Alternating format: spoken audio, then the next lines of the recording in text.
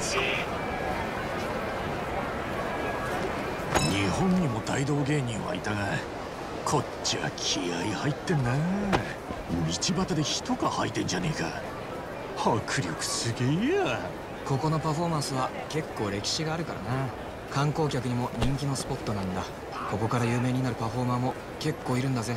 へえ登竜門的なもんか。そういえば偉人町でギター弾いてた二人組がメジャーデビューしてたな。それと近いもんなのかも。路上からプロのミュージシャンか。夢のある話だな。俺らも路上ライブやってみっか。スカウトされちゃうかもしんないぜ。そしてメジャーデビューってかそれも楽しそうだな。よっしゃ。俺たちの美声を世に轟かせてやろうぜ。まずは楽譜の勉強から始めないとな。そこは真面目なんだなお前